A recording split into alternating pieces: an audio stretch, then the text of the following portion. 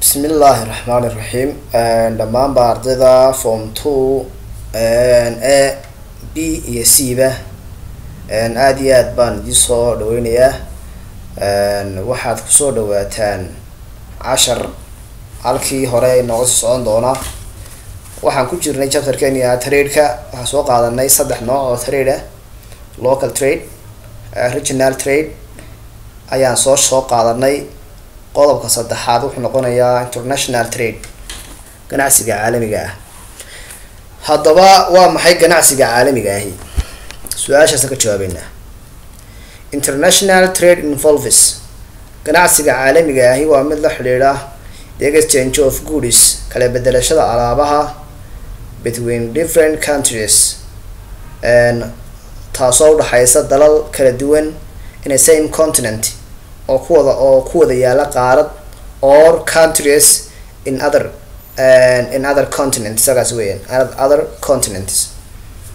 Waxa weeyaan waa dalal qaarad ku wada yaalla iyo dalal kala qaarado duwan labadaba ganacsiga udhexeeya waxaa loo yaqaanaa international trade. Marka halkaa dambe halkaasi waxa weeyaan continent countries in other continent weeyaan waaye. Tusaale markaa maxaa ka mid a the trade between india and east africa coast. Waxaan tusaale soo qaadanaynaa ganacsigii u dhexeeyey india iyo xeebaha bariga africa kaasoo laga gudbi jiray indian ocean badweynta india qarnigii shan iyo tobnaad ilaa qarnigii sagaal iyo tobnaad. Kaabaan tusaale u soo qaadanaynaa waayahay haddaba transatlantic trade. Waxaan soo aragnay transsahara trade kani waa transatlantic trade badda loo yaqaano atlanticada ayaa kan laga gudbi jiray. Kii hore waxaa laga gudbi jiray baan nidhi saxaaraha lama degaankii udhexeeyey north africa iyo west africa. Haddaba way kani sideebu haddaba ku bilaabmay isaguna? Transatlantic trade way transatlantic trade involved. Ganacsigii laga gudbi jiray badda atlanticada wuxuu ahaa mid ku taxalluqa ama xidhiidh lale ama ka dhici jiray baa la odhan karaa yurub africa iyo america wuxuu ahaa mid isku xidha africa yurub iyo america sababta wax kale ma ahayn africa waxaa laga qaadi jiray dad waxaa la geyn jiray america si ay beeraha maraykanka wax uga soo saaraan. Wax soo saarkaas oo markaa row material ama qaydhina waxaa loo qaadi jiray yurub halkaas baa lagu warshadeyn jiray. Marka waxaa la isla doontay dadka africa jooga manpowerka africa khayraadka dhulbeereedka ku waxa weeyaan maraykanka iyo warshadaha yurub sidii la iskula doonan lahaaba waxay noqotay africa in dad laga soo qaado. Yurubna america la geeyo wax soo saar ay sameeyaan waxa ay soo saareenna lagu warshadeeyo yurub. Ganacsi nooca u shaqeeyu ahaa way this trade also referred?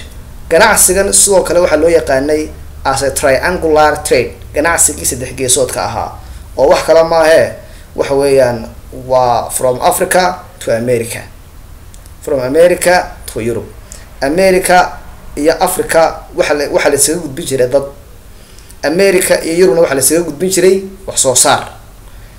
Mar kale haddana yurub iyo africa waxaa laisaga gudbin jiray waxa weeyaan manufacture goods alaab la warshadeeyey ama wax soo saar la warshadeeyey baa africa mar kale loo sii iibgeyn jiray. Thats wy markaa waxaa loo bixiyey triangular trade ganacsigii saddex geesoodka ahaa. Since the movement ships maadaama isku socodka maraakiibta across atlantic and from europe to africa. Maadaama waxsoo macnaha dhaqdhaqaaqa maraakiibtu ay ka iman jireen yurub oo ay tegi jireen africa markaasi waa marka ay alaabta la warshadeeyey ee lagu warshadeeyey yurub ay soo qaadayaan wey africa u iibgeynayaan. Mar kale africa dad baa laga qaadaya baa nilo waxaa la geynayay maraykanka. Mar kale america waxa laga soo qaaday alaaba waxaa la geynayay yurub. Ganacsi noocaas oo kale abu ah african enslavement was cruel and inhuman. Haddaba adoomay macnaha adoonsigii afrikaanku wuxuu ahaa mid cruel ah. Mid ay ku jirto macnaha mid naxariis daran and inhuman oo ka baxsan bida bili-aadantinimada ka baxsan ayuu ahaa. Waayahay haddaba origin of transatlantic trade. Trans transatlantic trade-ka asalkiisii muxuu ahaa sideeba ku soo bilaabmay? Markii horreysay yaa bilaabay dalkeebaa bilaabay? Halkee laga bilaabay? Waa muhiim taas inaad ogaato the trade of enslaved africans. Ganacsigii haddaba afrikaanka la adoonsanayay ama la kala iibsanayay afrikaanka in the atlantic ee ka dhici jiray badda atlanticada la soo gudbin jiray was its origin in the exploration of portuguese. Asalkiisu wuxuu ahaa mid ka yimiday sahamintii ay sameeyeen portugiisku baqa portuguese mariners. Waxaa badmaaxayaal portugiisa ayaa waxay sahamiyeen of west africa in fourteen forty. Kun afar boqol iyo afartankii ayay africa sahamiyeen oo sahamin ku sameeyeen. Wena young portuguese sailor markii badmaax dhalinyaro ah oo reer portugiis ah oo la odhan jiray ahtam gon calves la odhan jiray came to the coast of west africa. Ayaa wuxuu yimiday badda ama xeebaha galbeedka africa in a search of trade isaga oo markaa raadinaya macnaha ganacsi u socda captured a man and women. Markaa wuxuu qaaday laba qof rag iyo dumarba isugu jira home he presented to the prince henry in the navigator. Kadibna wuxuu u hadiyeeyey dadkii ama u geeyey oo hadiyad ahaan uga dhigay ninkii loodhan jiray prince the navigator oo ku soo qaadano ahaa ninkii maraakiibtii lagu tegayey badda lagaga gudbayey si meelo badan loogu sahamiyo raggii ikhtiraacay ee ischoolkii furay la odhan jiray the school of navigation. Raggii furay buu ka mid ahaa. Dad labadaa qof buu qaaday kadibna uu geeyey si markaa loogu shaqeysto as slave. Ahaan buu ugu geeyey. Hadiyad ahaan buu uga dhigay. Gifts buu dhigay. Waayahay haddaba fourteen forty five kun iyo afar boqol iyo shan iyo afartankii the portuguese built a fort. Portugiisku qalcad bay ka dhiseen ama meel xarun bay ka dhiseen for a pace of pine slaves and gold meesha loo yaqaano mauritania halkaa kuma jirta laakiin mauritania meesha loo yaqaano ayaa waxay ka dhisteen qalcad ama meel ay ugu talagaleen inay ku kala iibsadaan addoomaha iyo dahabka ay ka soo iibsadaan ayay dhiseen. Macnaha xarun lagu soo ururiyo addoomaha iyo dahabka lagu soo ururiyo si ay markaa ay u qaataan.